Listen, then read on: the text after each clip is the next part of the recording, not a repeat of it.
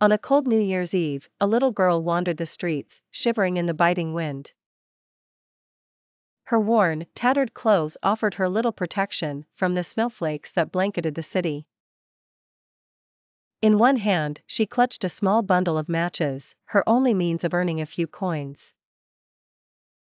Her blonde curls peeked out from beneath a threadbare cap as she timidly called out, Matches!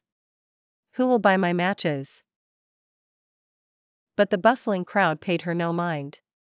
With every step, it seemed the world grew colder. She passed brightly lit windows where families gathered around roaring fires, their laughter echoing in stark contrast to her solitude. The aromas of roast dinners wafted through the air, making her stomach yearn with hunger. She found a small corner by a building, seeking refuge from the wind. Crouching down, she lit a match to warm her freezing hands. The flame burned brightly, and, for a moment, she felt its warmth spread through her. The light of the match transformed her surroundings. She saw visions of a cozy parlor, a table set with a feast, and a loving grandmother who once held her tight.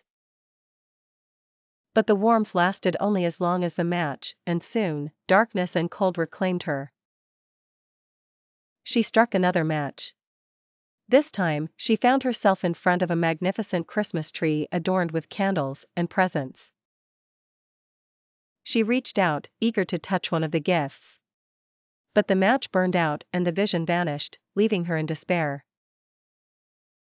Still, she continued to light match after match, each one bringing her brief moments of joy and imaginary warmth. In one vision, her grandmother appeared, arms outstretched. Overwhelmed with love and longing, the girl struck all her remaining matches, wanting to keep her grandmother near. As the flames blazed, she felt herself lifted from the cold street and into her grandmother's embrace, a place where she felt safe and warm.